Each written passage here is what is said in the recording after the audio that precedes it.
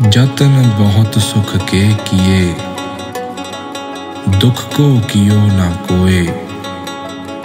ਕਹੋ ਨਾਨਕ ਸੁਨ ਰੇ ਮਨਾ, ਹਰ ਭਾਵੈ ਸੋ ਹੋਏ।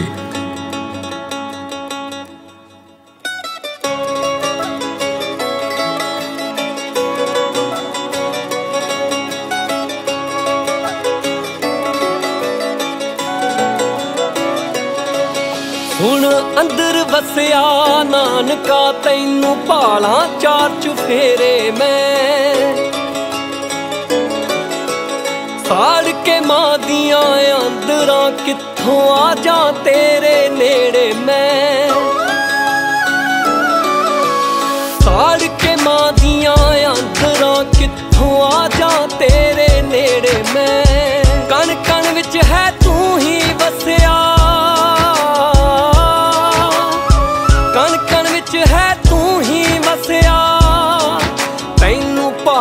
ਪਾਏ ਫੇਰੇ ਤੋਂ।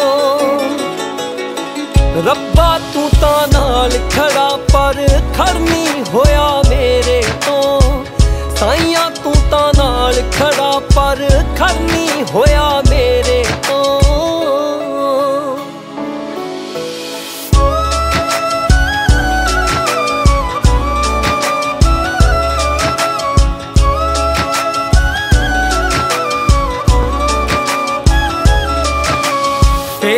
ਤੋਂ ਤੇ ਕਰਕੇ ਸੇਵਾ ਹੁਕਮ ਦਾ ਯੱਕਾ ਹੋ ਗਿਆ ਹਾਂ।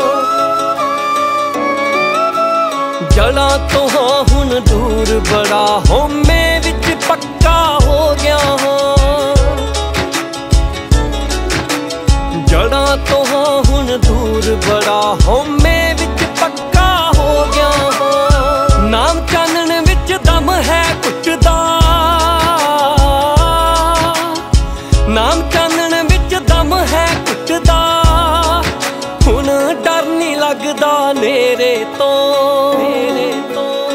ਰੱਬਾ ਤੂੰ ਤਾਂ ਨਾਲ ਖੜਾ ਪਰ ਖੜਨੀ ਹੋਇਆ ਮੇਰੇ ਤੋਂ।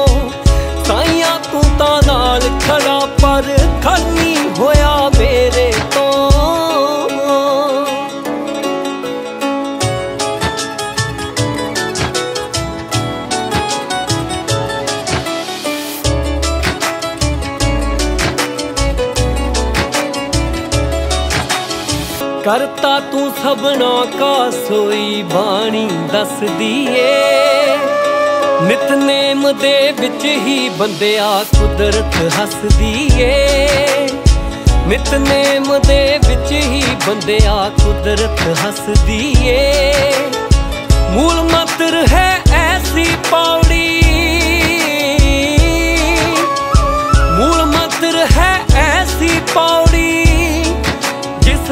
ਨਾ ਸਭ ਬਨੇਰੇ ਤੋਂ। ਰੱਬਾ ਤੂੰ ਤਾਂ ਨਾਲ ਖੜਾ ਪਰ ਖੜਨੀ ਹੋਇਆ ਮੇਰੇ